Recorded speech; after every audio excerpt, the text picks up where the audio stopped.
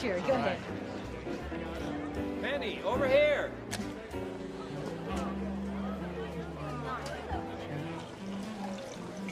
Leave it.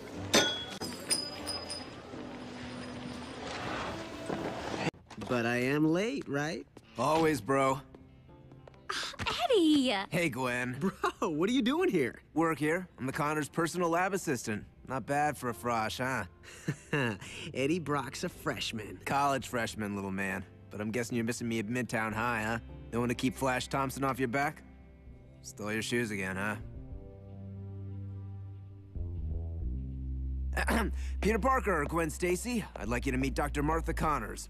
Eddie's told us great things about you both. Said you wore clean underwear. Lucky I didn't say socks.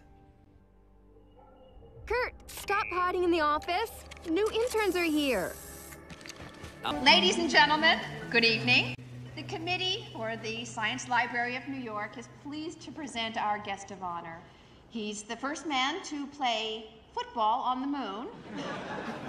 the handsome, the heroic, the delicious. Jameson. Is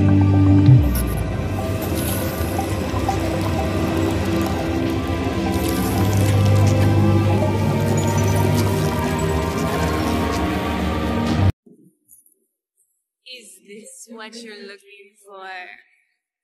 No, it is. Well, then come and get